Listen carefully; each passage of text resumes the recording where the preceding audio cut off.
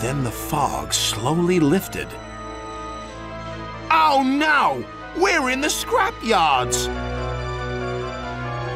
His driver and fireman went for help. Stepney was all alone, but not for long. Two diesels approached. Got you this time, Stepney. You'll make very fine scrap indeed. Buffer 'em, Bert.